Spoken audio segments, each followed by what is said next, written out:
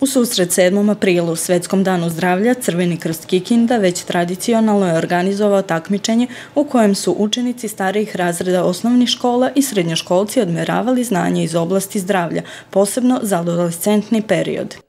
To je po meni e, vrlo ovaj, e, dobro, ima, postoji literatura, postoji knjiga koju bi svako dete već posle petog, šestog razreda osnovne škole trebao da pročita u okviru promocije zdravlja i zdravih stilova života.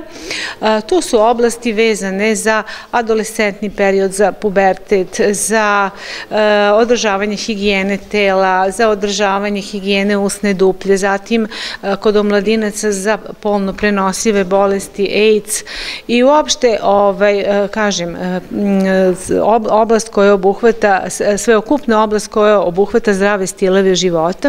Ove godine se desilo po prvi put da je na takmičenju učestvovalo više osnovaca nego srednjoškolaca, što je po mišljenju doktorke Gordane Bistričić veoma pohvalno, pogotovo za nastavnike. Pobednici takmičenja su Marijana Bunčić iz Bašajitske osnovne škole 1. oktobar i Nedeljko Nešić iz srednje stručne škole Miloš Crnjanski, koji su pokazali zavidno znanje. Osim pobednika, mi smo eto, nekako rangirali prva tri mesta e, i ovaj, ostalo su deca pokazala zavidno zdranje, e, pokazala su znanje, sad neki su se malo uplašili, znate, jedno je usvojeno znanje, drugo je kad vi to treba da pokažete, ali zato ovaj, je nama bitno ne samo mesta, ja kažem uvek svi koji se danas pojavili na ovom mestu su pobednici, tako da je, uopšte nije, nisu važna mesta, nego da oni to iščitaju, da nauče i da usvoje ta znanja.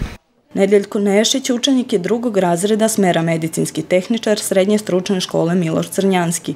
On je osvojio prvo mesto na takmičenju u kategoriji omladinaca. Po njegovom mišljenju, za ovakav plasman zaslužan je veliki rad i usvajanje znanja iz svih predmeta. Ne mogu da izvojim jednu oblast zato što je sve bitno u zdravlju, a najteže mi je bilo droge i to sam tako pitanja, dobro sam prošao, zadovoljan sam i planiram da nastavim ovako. Kaži mi koliko ti je dugo vremena trebalo da se pripremiš za ovo takmičenje? Pa pripremao sam se dve, tri nedelje, otprilike, sa profesoricom svaki dan, pomalo i ostali i to je to. Prvoplasirane učesnike u obe kategorije očekuje pokrajinska smotra znanja koja će se održati 12. aprila u organizaciji Crvenog krsta Vojvodine. Svake godine fokus je na jednoj posebnoj temi, a ove godine u pitanju je depresija.